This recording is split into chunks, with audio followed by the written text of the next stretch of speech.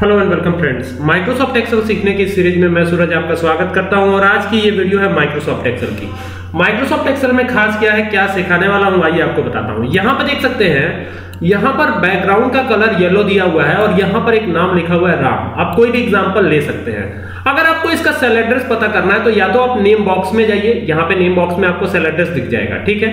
अगर आपको फॉर्मूले से सेल एड्रेस पता करना है, तब कैसे पता करेंगे? तो इसके लिए फॉर्मूला होता है सेल ठीक है? तो आपको यहाँ पे लगाना है सेल का फॉर्मूला कुछ इस तरीके से और यहाँ पे डबल डेट कोट्स को ओपन करिए या फिर ये जो एड्रेस लिखा हुआ है, इस एड्रेस पर डबल क्लिक कर दीजिए। ठीक है? या डबल एडेड कोट्स में एड्रेस लिख भी सकते हैं। ठीक है? कॉमा देंगे और कॉमा देने के बाद इसको सेलेक्ट कर लेना है। इसको सेलेक्ट करने के बाद आपको अब प्रेस करना है एंटर तो जैसे ही एंटर प्रेस करेंगे तो आपको यहाँ पे सेल एड्रेस दिखाई पड़ेगा। ठीक है? अगर मान लीजिए यहाँ पर कुछ लिखते हैं लाइक यहाँ पे कुछ और नाम लिख देता हूँ, मैं टाइप कर देता हूँ, ठीक है?